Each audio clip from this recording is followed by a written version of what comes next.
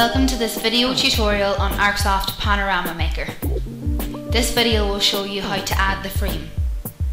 Please select the pictures that you want to stitch, select the auto stitch mode and click next. The stitched picture will be shown in the program. Click frame on the bottom right to add a frame. In the frame screen, double click enter title here to type a title for this panorama picture. You can change the font, size and colour for the title. You can also click new under the title to add a new text. You can then move it to the desired place. Uncheck the frame checkbox on the bottom left to remove the added frame.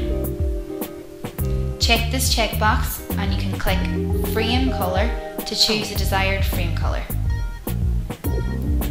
Check the copyright checkbox to add the copyright. Change the name in the box to create your own copyright. Once done, click preview to preview the final result. The frame can be modified again if you need. If you're satisfied with the output, click print on the top right to print the panorama.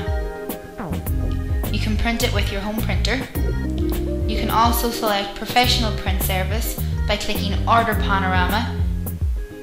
Different sizes are supported.